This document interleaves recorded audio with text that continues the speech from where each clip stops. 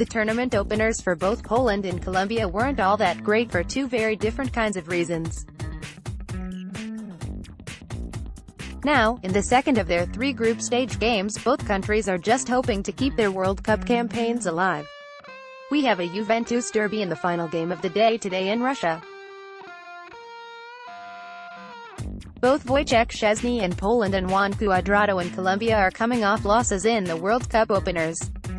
And with the way Group H is shaping up in Japan and Senegal having already played one another by the time the two Juve teammates take the field against one another, this could very well be an elimination game of sorts. The winner will go into the group stage finale on Thursday with three points and a chance to advance, while the loser heads into their final game in the group stage knowing that their time in Russia is pretty much up unless there's absolute chaos.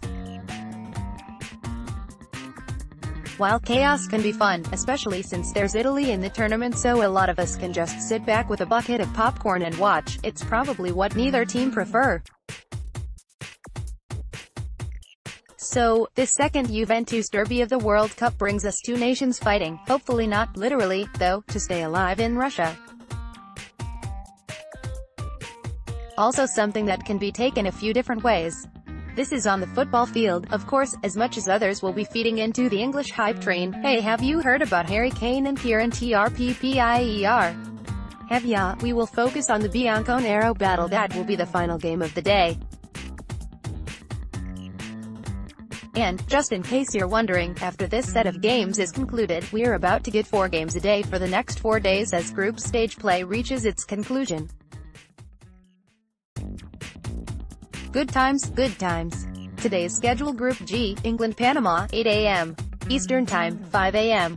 Pacific, NBC link here, Group H, Japan-Senegal, 1 1 a.m. Eastern Time, 8 a.m. Pacific, NBC link here, Group H, Poland, Colombia, 2 p.m. Eastern Time, 11 a.m.